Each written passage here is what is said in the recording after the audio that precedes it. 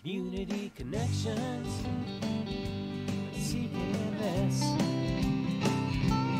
Local sounds, thoughts, passions, and success. Celebrate local. Your neighbor's got a story to tell. Community connections. CKMS. Happy Monday, happy Friday, Waterloo region. It's the 10th of June, halfway between the meteorological start of summer and the astronomical start of summer. Stay tuned to CKMS for all the breaking news on seasonal changes. A little bit of new um, music from the Soviet influence, which is the angriest social justice band in southern Ontario. This is called Abolition Now.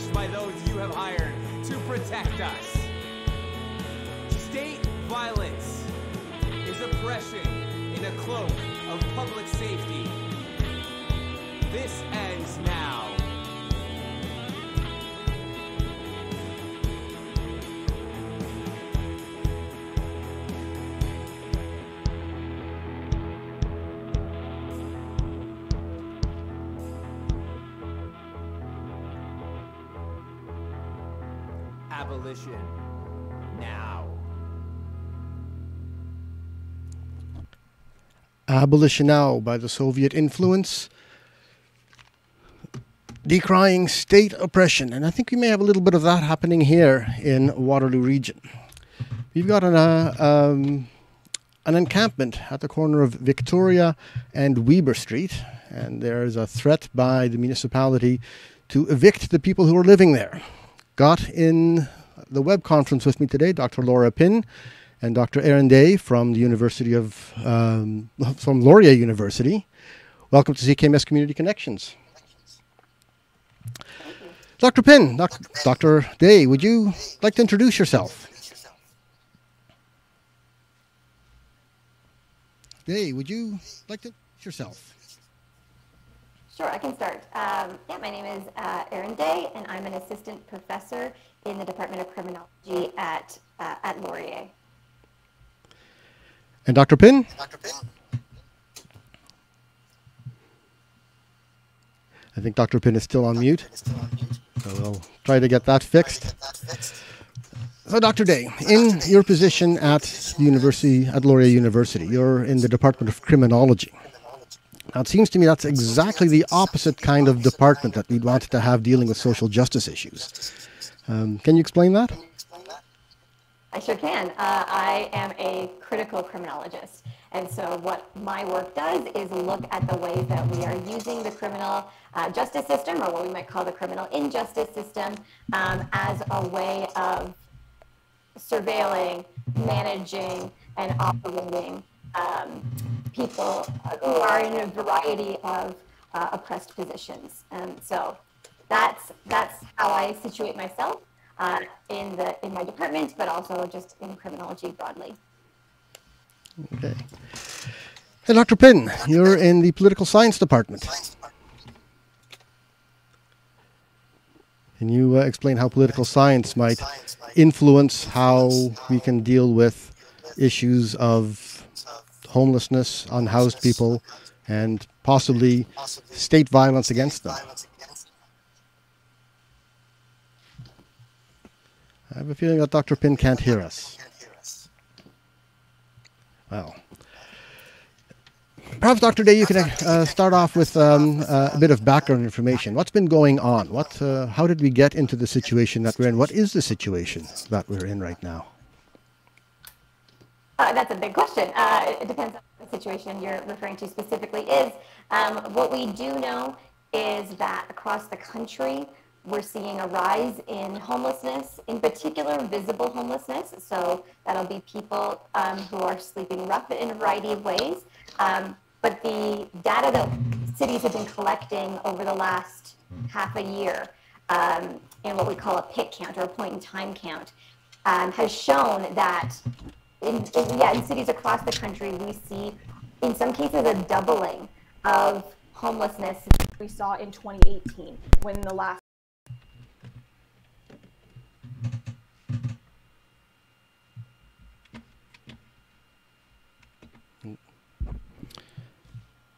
think we may have just lost Dr. Dej. They were having a little bit of technical difficulty here. Uh, these things always seem to happen right in the show, uh, never before the show starts, and you can uh, deal with them easily.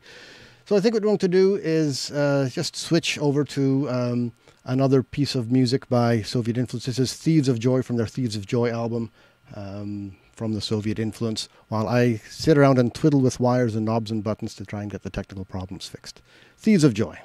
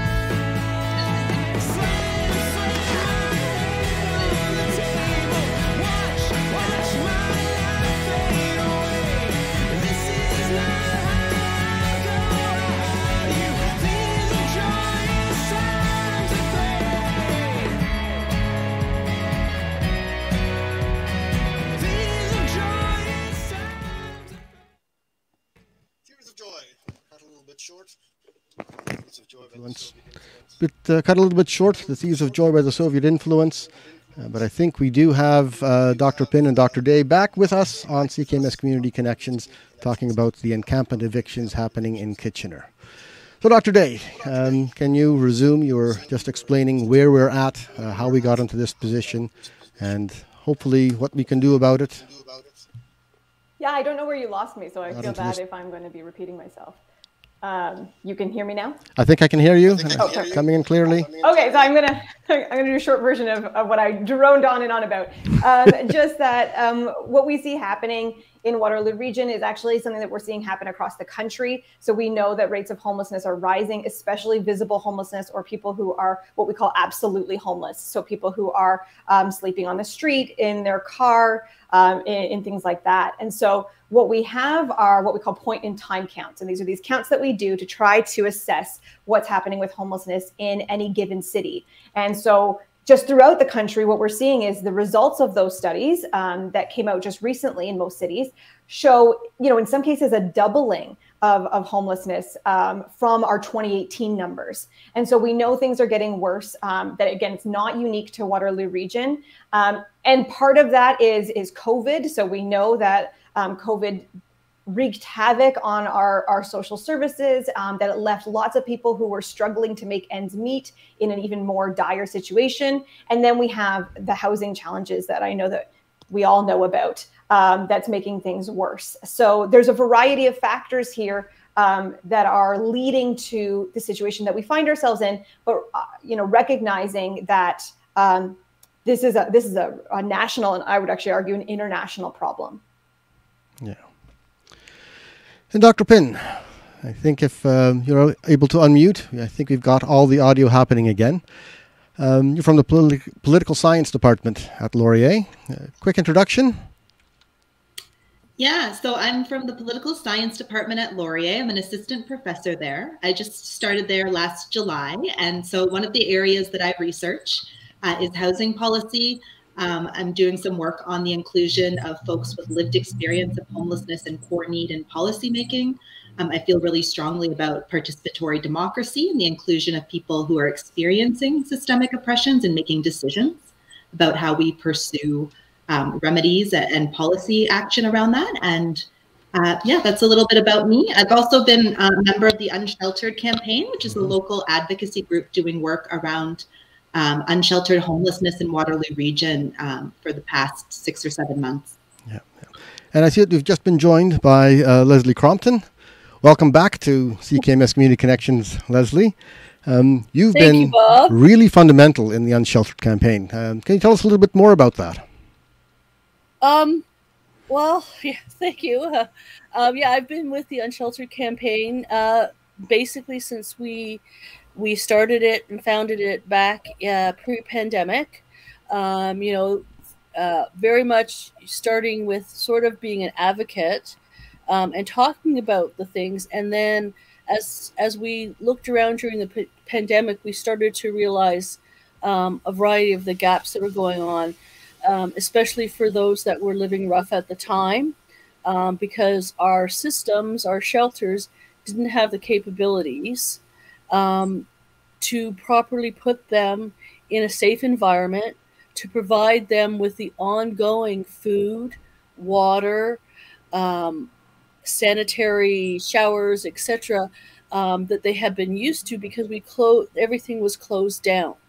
And so suddenly there was this huge gap for these individuals. Um, and again, we're talking in March, so we're talking a very cold month mm-hmm.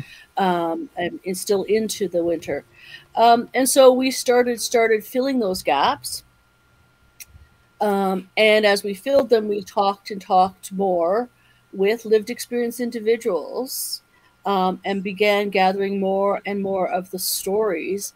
Um, and you know the unsheltered campaign and you know we've talked about changing the name because is it really unsheltered? What do, how does that fall with encampments?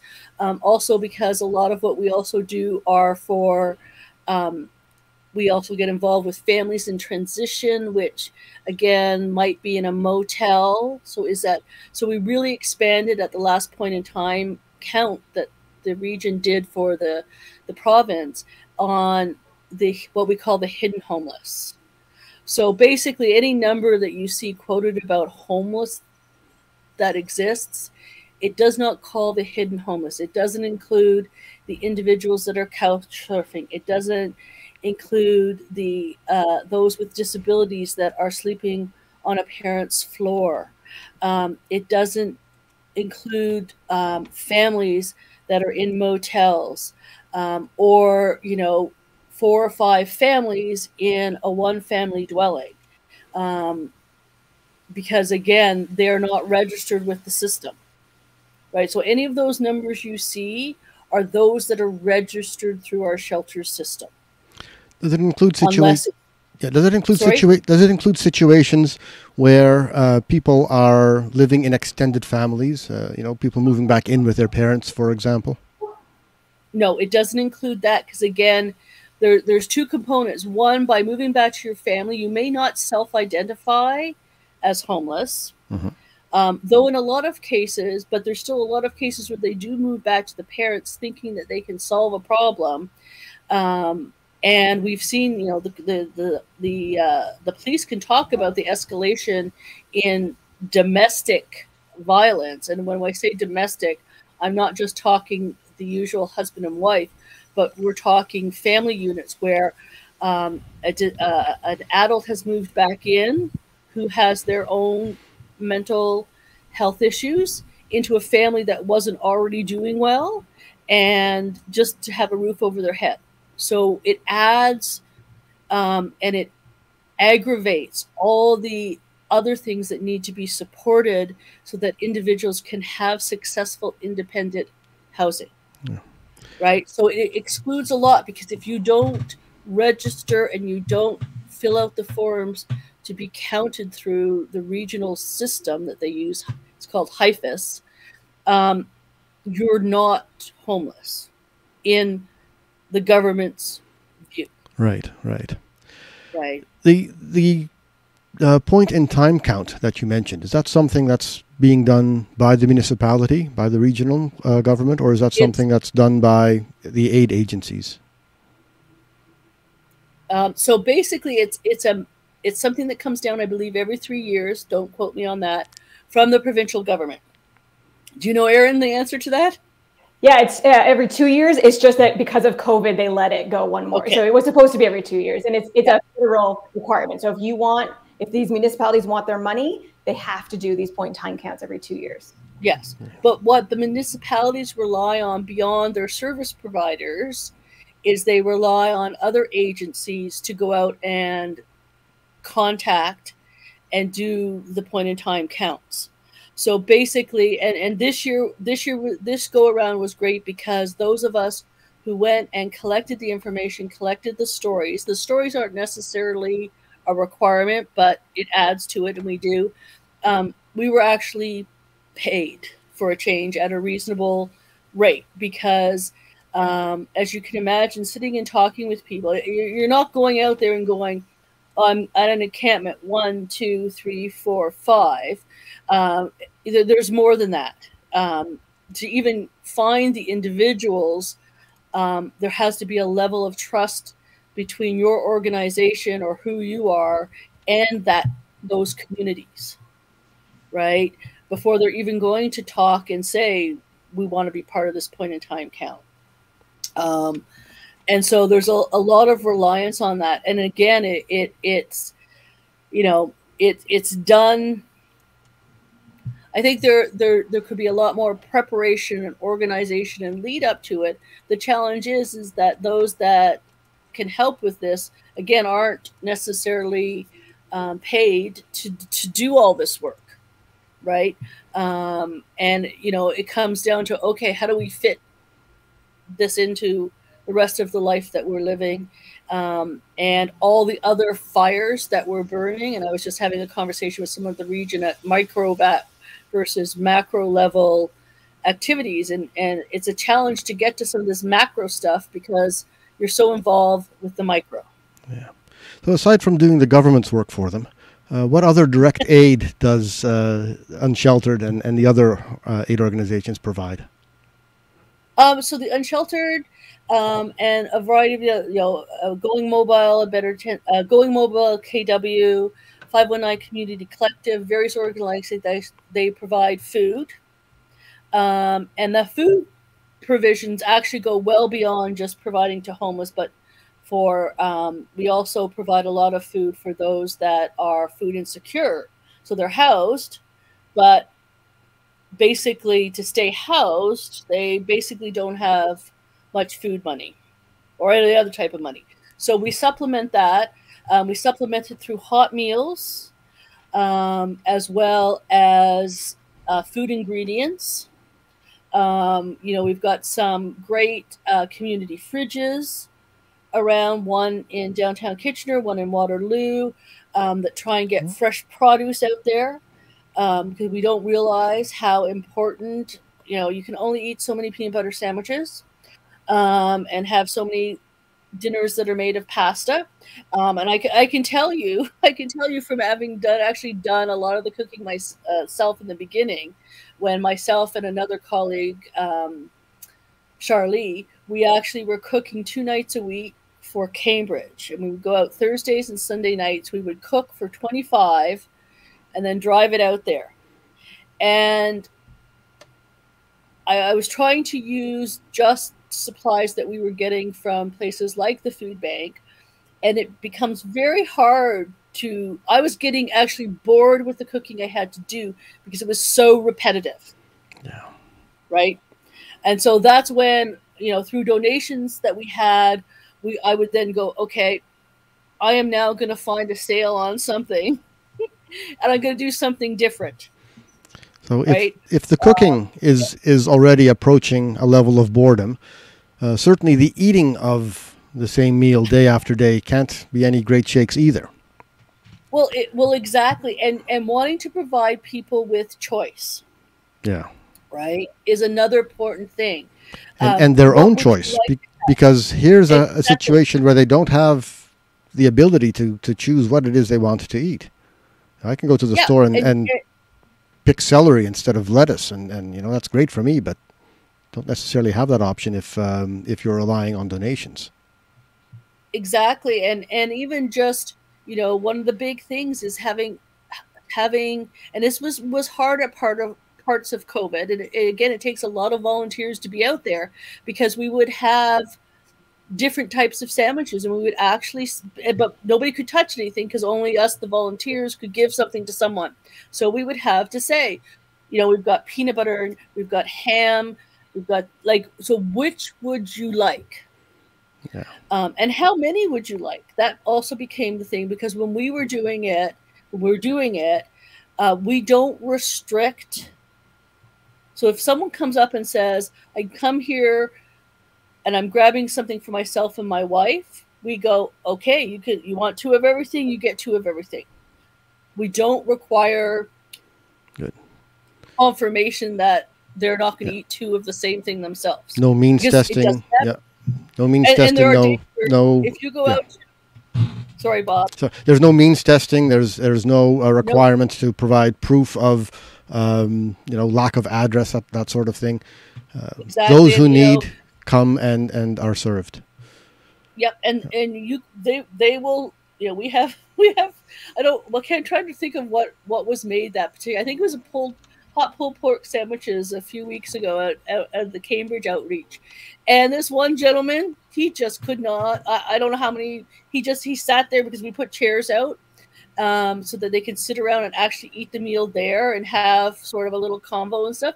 I don't know how many of those sandwiches are like from, he was just like, oh, this is so good. Yeah. And he, right. The same thing if they, if, if, it, if a particular type of soup is appealing to them, it's like, here and you know and and what especially 519 tries to do is when they come um, they're getting at least two meals. So they're getting the hot meals that are there and there's usually a couple of choices and then they're getting sort of a lunch a packed lunch which has got a sandwich um, a juice box uh, a fruit or and usually a, a, treat.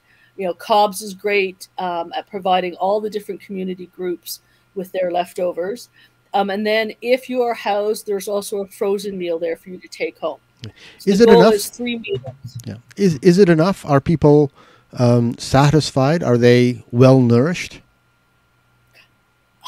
I would like to think so, um, but it, but it's really hard to say because I'm just experiencing um, what they're having on that particular day, um, and I think there are still a lot of a lot of gaps um, and, a, and a, a, lot of, of inability to self-determine. Right. Um, and that is is it's really hard because like you said we get to go and choose i feel like x tonight and i get to go and choose it yeah. right and you know and and ladies laura and erin jump right in at any point in time because i can tuck your ears off So Um, is is this the great but social safety net that Canada likes to think it has for its citizens? Is this I- is this know- how we do this? Sorry, did, I say that again, Bob? we, we're all always told that Canada has this terrific social safety net. You know, we don't have to worry about things because there's a social safety net that will catch us uh, if we should stumble and, and need a lift. Um, this sounds very much ad hoc. It sounds very much. Um, I don't want to say at the whim of those people who can who can afford to provide uh, additional assistance to people. Yeah, Laura. Perhaps Laura can can uh, let us know what, what the social safety net is supposed to be from a, a political science perspective. Yeah, I love everything that you were saying, Lesley, because it's really about treating people experiencing economic poverty with dignity and the way that you would want to be treated. And the fact that why would we expect someone to eat something that we wouldn't want to eat? Why would you expect someone to eat something that might make them sick if they have dietary restrictions, right? People should, basic dignity should be being able to choose the food that feels good to you to eat, right? And we we don't, you know, for some reason, our expectations around basic dignity don't extend to people um, who are experiencing poverty, right? And so, yeah, this is, you know, we had a joke in the Unsheltered campaign about we needed to have a billing for filling initiative, like billing the state for filling the gap because of all the work that was happening, all of the volunteer and community work, filling the gap of providing people in what is a relatively wealthy country um, with, uh, you know, basic food, a little bit of food security, right? That is great for them that moment when they're accessing the food that the campaign was able to provide. But of course, then the next day, what happens? And a lot of this really goes back to going back to your question about social policy, Bob. A lot of this really goes back to the fact that we we talk about housing and we talk about food insecurity, and we need to be talking about it in conversation with social assistance, right? So people who have disabilities, people who are unemployed, um, and who are relying on social assistance for their income, we know that these rates are not enough for people to afford shelter and food. Right now, the single rate, if you're um, on Ontario Works, is about, I think it's $780. If you're on ODSP, it's about $1,150 a month, and that's for everything. And we know that those are not livable, humane rates. And so our, it really is a sign of how insufficient our social safety net is right now for people um, in those positions. So I was listening to the um, Waterloo um, Regional Council from Tuesday, and there's a lot of talk. Um, I didn't see much of the talk that would result in any action, uh, but the thrust of the conversation seemed to be we need more assistance from higher levels of government. Um, now I know that the municipal governments tend to be more uh, uh, strapped for their financial accountability. You know, every penny is actually counted at the municipal level, whereas uh, it's more likely counted, uh, rounded off to millions at the, at the provincial and federal levels. Is that a reasonable thing for the municipality to to ask for, to rely on higher levels of government to solve this problem with money? Laura? Yeah, I, maybe I, I'm really curious to hear what Lesley and Erin have to say this about this as well. So here's what I would say: housing is something that requires intergovernmental relations and multiple levels of government to manage. So yes, the region of Waterloo and the cities within that region, they're not fully making their own destiny in the sense that there's dynamics that are very much controlled by the federal and provincial governments on the one hand. On the other hand, we know that within the what's within regional policy purview, what municipalities can do, the powers that they have, there's lots of things that they could be doing. Absolutely. And in fact, you don't see a provincial or a federal encampment protocol, right? We see one at the regional level. The region has an encampment protocol because managing encampments on the ground is something that falls within the region's basket. So on some levels, I have some sympathy for that argument, and I think there's elements of truth, but I don't I don't think that it's any excuse for elected officials at the local level to dodge, you know, the responsibility and not to be making full use of the powers that they have to take action. Yeah. Lesley? Let me unmute myself. I I agree a hundred percent with what Laura's saying. Um, it is it's an ongoing and, and the last two weeks it's actually been an extremely angering um, situation that I continue to find myself in. Uh, because beyond food, um, I spend a lot of time trying to advocate and support for individuals or families uh, that are facing homelessness. Um, and I have been working with a number of individuals, um, and they have the, the region has its service providers. And, you know, basically, they are accountable. The region is ultimately accountable and responsible for the homeless and the housing that goes on. And then they contract with service providers to execute their service plan. Um, however, I'm not convinced that the oversight um, and the process in which they make sure those service providers are providing adequate service is appropriate. And I see this where I'm dealing with a situation, single parent, two kids, um, basically became evicted, became homeless. Um, and basically, the way things are set up, that means if you qualify through Lutherwood, you go through to the Y, WCA, and they put you into one of the motels that the region con- the, that the Y contracts with. These are the same motels that they put the individuals from the encampments in. Not a place any of us would take our children or grandchildren to and they say this is safe. So I have been working with a single mom who's absolutely refusing to go down that road. So we've spent the last two months juggling money and moving around trying to solve this. Um, I asked two months ago to talk about policy change. Could we come up with another process that works a little bit differently so that parents don't have to stay in these motels that they don't want to stay into? But this is very, very, and and and it can be done. But again, it, and this is all within the responsibility of the region and its service providers. But there are some gaps in that relationship and in those mandates and the ability to talk at a macro level and make progress at a macro level. Um, and that is making more and more individuals fall through these gaps. Yeah. you know, we have gaps where, um, you know, depending on what region is responsible, we let a father with his two year old son become homeless for over the weekend. Yeah. Yeah. Right. Um, these these are things that can be changed by the region, by the service providers. I do have concern that the service providers that are in play have had the same management and the same processes for too long.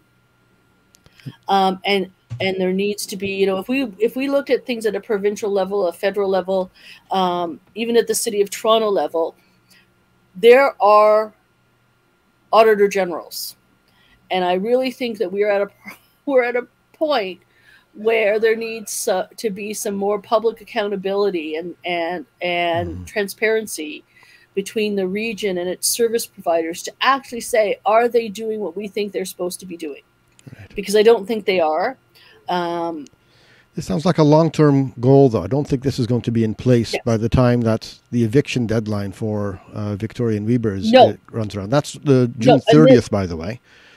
So yes. people have been asked to what they're going to. We've got we've got what thirty people there. Thirty people in um, the encampment at Victoria. No, no, it's headed up past fifty now. Over fifty people. My goodness. Over fifty people are there.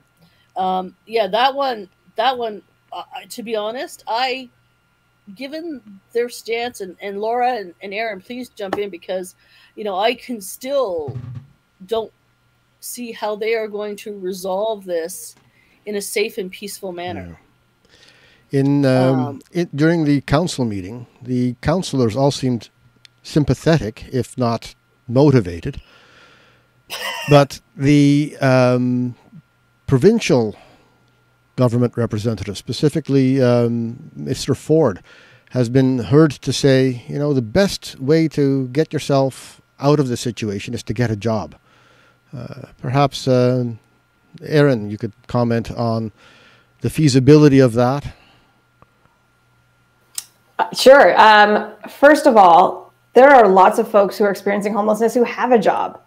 There was a recent study um, last year, this was on women and gender diverse people specifically, but showed that uh, in that sample, and this was a Canadian wide sample, 30% of, of, the folks who filled out that survey said that they have they have a job. Uh, 11% of that was full time work. Um, but it doesn't make enough to make ends meet. I know I've known tons of people who work at grocery stores, who work in construction, who work at restaurants, um, who are working, um, but it's not enough to pay their rent, right? It's not enough to, to make the ends meet. So, so first of all, people are working um, and continue to be homeless because of our lack of affordable housing. And then amongst those who are not working, we can think of a variety of reasons why it would be difficult to get and maintain a job while you're um, experiencing homelessness. We can think about, I mean, look at the burnout that so many of us who are employed have felt over the last years. We're exhausted. Can you imagine if that's what your life is every day? You're trying to survive, literally survive, and you're expected to go and do your, your full day's work. Um, we should have a sense at this point of how untenable that is, of how unrealistic that is. Um, but then there's also just these really practical challenges that people might face. Transportation, how are you getting the money to get the bus pass to be able to go to work every day? How are you um, making sure that you are um, have the equipment. So steel-toed boots is a really big thing for people working construction. How do you get steel-toed boots to be able to, to do that? How do you um, how do you get the adequate amount of, of sleep to be able to be able to go and do that work day? Um, if you are staying in a shelter and you're staying in a shelter with sleeping in the same room as tons of other people, concerned about your safety as you go on, or if you're sleeping outside.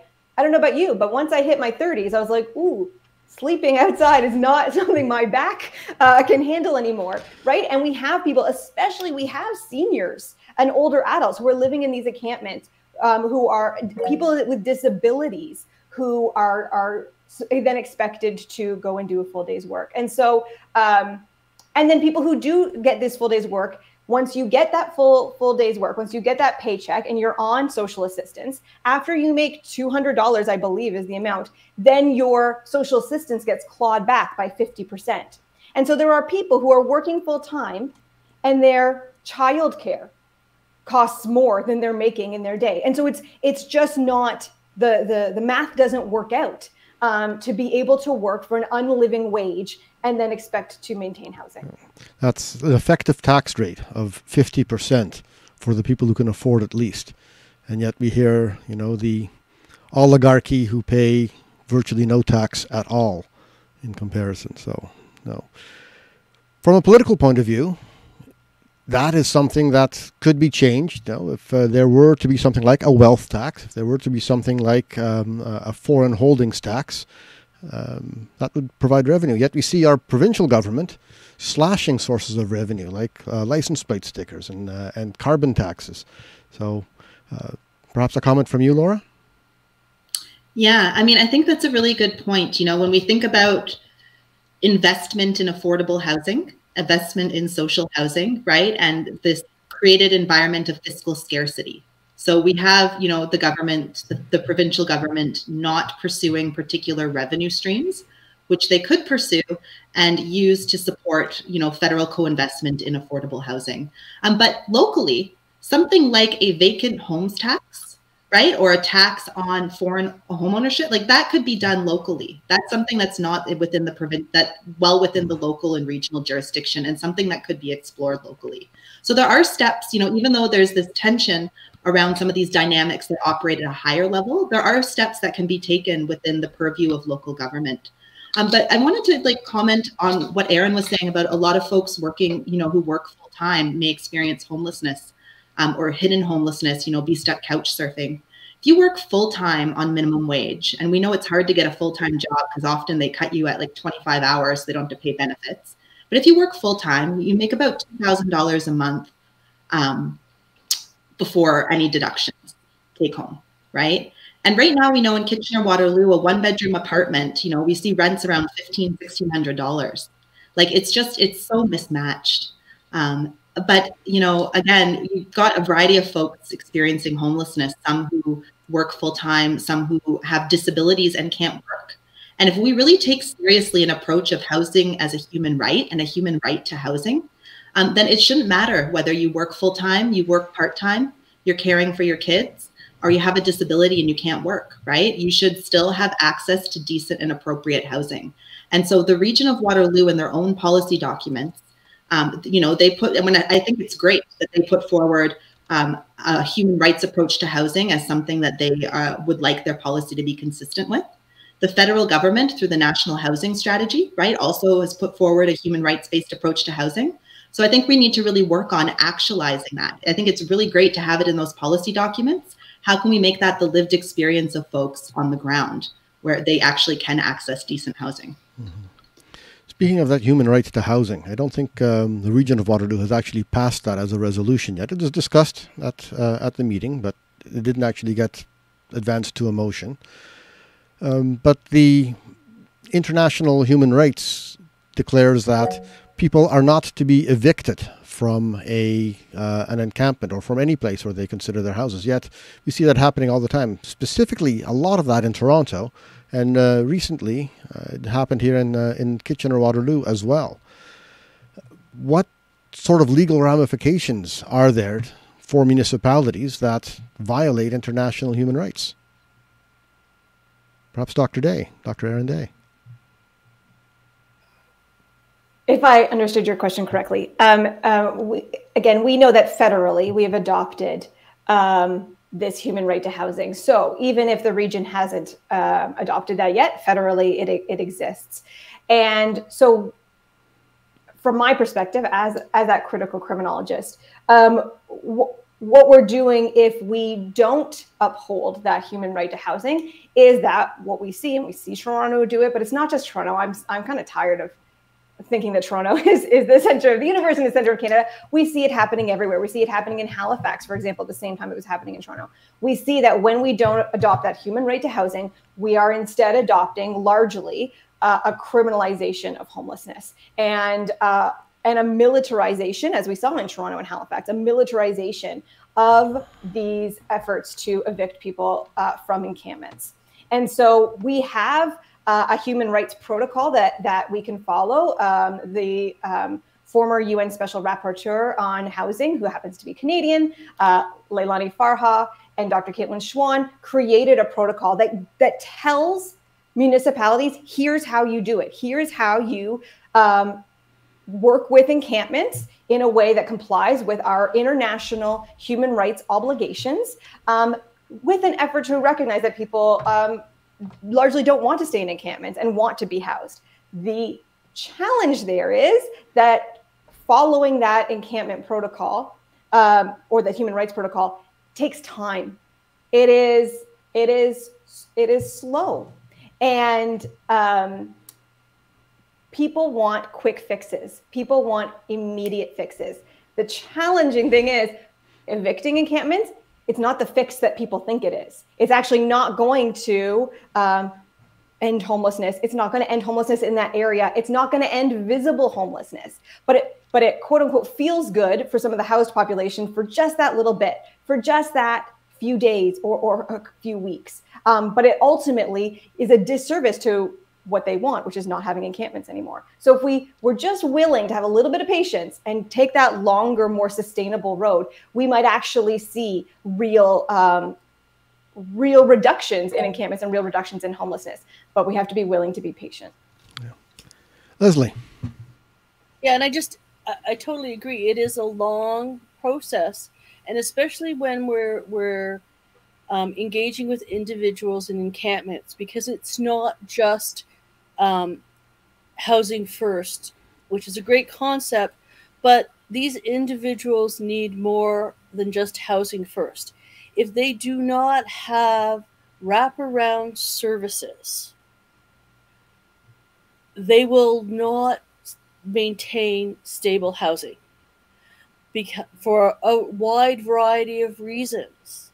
Um, eh, you know, they've they've been brought up in a system that has fed them so they're not really sure know what to do with a kitchen right Uh, encampments provide a social life for those who want it. Others want privacy. Um, there are mental health issues that have to be addressed. Um, and we, we hear this and, and, and, we talk about the violence. Um, and, you know, I'm not a proponent of violence by any stretch of the imagination. Um, but when we're dealing with shelters or some of the things that are happening in encampments, um, a lot of places have what they call a zero tolerance for violence, which conceptually makes sense. Totally agree with that. However, what is missing is the definition of what is violence. Uh, someone with a mental health issue who's speaking extremely loudly is not is is often considered violent. So they are then evicted from the shelter from the hotel. There's there's a lack of um, there's a lack of an ability to manage those situations. When you put them into motels for example um, where they're having to engage directly with the staff at the motel. The staff are not knowledgeable on how to manage those types of things. And so you often so so once you get to know that person and and i can you know it's it's their way of being. And yes especially in in the situation of men because they tend to be larger and women that are working in motels tend to be it tends to be women and smaller it feels threatening but there's no intent there. And if people know how to handle the situation then again and it, it, it's no different if we get these individuals into apartments and things like that. There still has to be those wraparound ongoing supports. And to maintain stability, those supports have to be there for an extended period of time.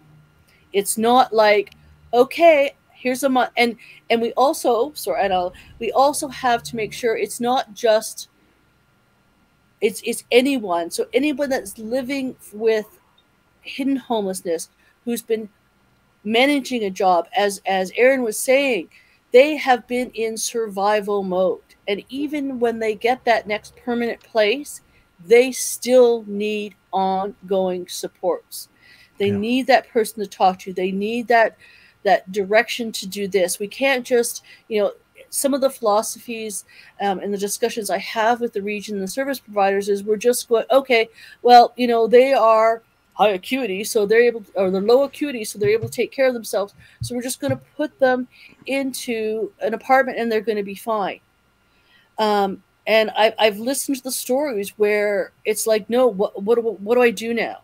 I still need that person to guide me through a whole bunch of other things to get me to be as independent as we expect people to do. So right? what what then is going to happen to the folks at Weber and Victoria on June the 30th because those supports that you've just described don't exist at the moment. What can we do? What, what for example, is um, is are, you able to do as as academics? Um, Dr. Laura Pin in, in political science, how can you influence the outcome of the situation? I mean, I think, you know, I want to recognize I've got a lot of uh, privilege in the sense that sometimes folks from the region, for example, you know, connect with me in a way that they may not connect with people doing the work on the ground. So I think one of the things that I can do is is try to um, encourage them to actually connect with and listen to folks doing the work on the ground, folks who are living in encampments, folks who are direct outreach workers. And a lot of those folks have been vocal about what they think needs to happen. Um, and, you know, this June 30th deadline, it's in some ways an artificial deadline. There's no reason why this has to be June 30th. We know the land isn't going to be used until the fall, right? And so um, I think pushing back a bit on that deadline, you know, there's no, again, there's no reason for it to be that deadline. And I think thinking about ways to um, better ground uh, folks who are actually living this experience right now in terms of being able to communicate with decision makers about what they need. Um, I think Erin probably has thoughts on this as well. Go ahead, Dr. Erin Dej. Well, I, well, I think yeah, I think I think what Laura said is perfect. I think it's about um, um, pushing and, and, and using the privilege that Laura spoke about, pushing as hard as we possibly can um, to make sure that uh, the voices of, of the folks who are spending time in this encampment are the ones that are actually being heard. Um, the other thing I, I, think I get it. We spent, you know, the beginning of this talk was about pit counts and, and data, and um, there's a lot of pushback about that um, because it's, you know, why are we using resources to count homelessness rather than responding to homelessness? And maybe this is because I'm an academic, but I actually think that there is some there's a lot of power to that data. That uh, that data can convince people in ways that it might not be able to convince people otherwise. And so, you know, hearing Lesley speak so eloquently about the need for ongoing supports after somebody is housed, I have data, research rigorous data to put to exactly what Lesley has just said. And so what I think what we can do as academics is is use some of the, that clout that we do hold for having doctor in front of our name um, to leverage that for uh, amplifying the voices of the people on the ground. How does that get to the politicians who make the decisions? You've got the data, you've got the, the rigorous studies, you know what needs to be done. How do you get that to those who can make the change? Is that from me? That, that's you for no, no, please do. You're like, no, I don't want to answer that. Um, one of the things that we've been doing with the Unsheltered campaign is actually inviting um, both uh, counselors, local counselors, as well as staff into the meetings to listen to what uh, different community members and folks working with community organizations have to say around the issue. Um, and so I think that's one way of trying to ground those perspectives. Um, in terms of getting the research to folks, another thing that I feel really strongly about is trying to do community engaged research. So, one of the things that my graduate seminar did last uh, fall was prepare a report on comparative encampment protocols from a human rights perspective, providing the region with some data about how different cities have put forward protocols to manage encampments and then providing some analysis, you know, in terms of what approaches are more consistent with the human rights approach. Um, so that's another way we can try and, you know, build those relationships and get some information, help build capacity at the regional level to do that kind of analysis. Right. And how about us non-academics? Um, Lesley, what can uh, ordinary citizens do to get involved? Well, I think that ordinary citizens, the first thing is to take a look outside yourself and try to actually understand. Take the time. If, if this is a real concern to you, take the time to actually talk to somebody at the encampment um, or others that, that have been supporting the encampments to get to know and understand how just how long this is going to take and how much personal resources. It's not personal resources. How much human resources it takes to make this successful. And how and and to be honest if you and i don't have the stats in front of me maybe laura or erin do but in the region we do the, the number of outreach staff that we have that are paid staff that go out and are supposed to be working with these individuals to find options to give them supports and things like that is very very limited and definitely does not allow for the number of hours needed to be spent with that individual right? And i think that where the region and the government gets all caught up is they think that this it's just like a factory widget thing. Boom let's put it all on the line and we do this and this and this and this and this and on to the same thing to every piece that comes down the line. And that's not how human beings work right? Yeah. And there's a huge trust factor involved as well that has to be built. And I think that we have to just keep going out there and asking to talk at the macro level. Um, I've gotten myself into some difficulties this week at the micro level, um, but just you know, go out to the community organizations and get involved, see what's going on, so that the, you can then speak to the region. I think the biggest thing is is this year is an election year, and we've got to take that brass ring while we can and do as much as we can. Otherwise, we are going to have a tougher four years if we don't. So. Right, and that is my, my concern. I don't think there are a lot of regional councilors, a lot of city councilors um, that are are basically on the same page as Doug Ford, um, or, or or potentially worse, to be honest. Um, there's a, there's a few of them out there, um, and so we've we've got to make that change. We've we've really got to say it is time for a change. This is a priority. Let's make it now, and let's make shift the change. Let's change the politicians. Um, I do agree with Laura. We need to get engaged more and more with the staff, um, which is is again hard to do because there's resource problems. Yeah. Right? If you're constantly fighting a fire, you don't have a, a, a great time to plan the next room on the house. Right. That's a bad analogy because I'm bad at analogies, um, which is usually why I never try to do them. But you know, if you're always fighting a fire, you're never able to think about the future. So then, it's the usual thing. Get involved in your local community groups, unsheltered. Um, there's a, a, new coalition called CARE. Uh, want to just expand on that, Lesley?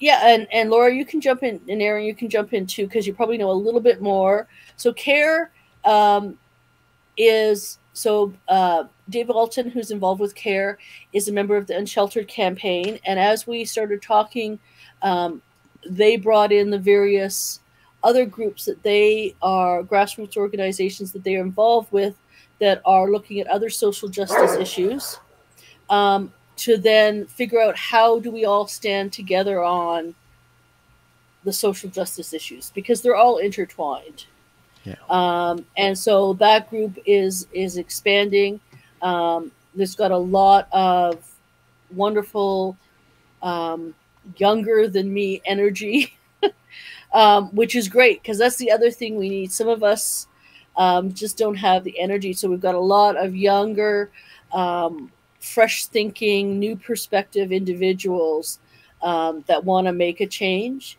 And so they're standing behind this particular cause because it is a big one now. And it all does tie together in terms of climate justice, um, our, our uh, truth and reconciliation all these things tie together mm-hmm. And that's what the care group is is trying to do. Um, laura erin correct me if i've misspoken.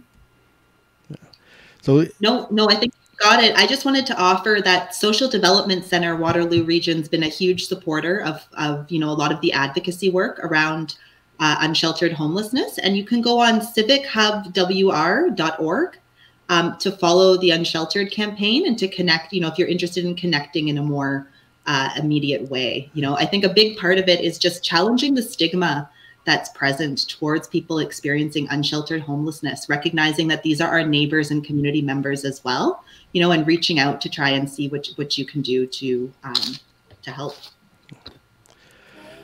Well, I want to thank both you, Dr. Laura Pin, Dr. Uh, Erin Dej, and uh, Lesley Crompton from Unsheltered, all of you from Unsheltered.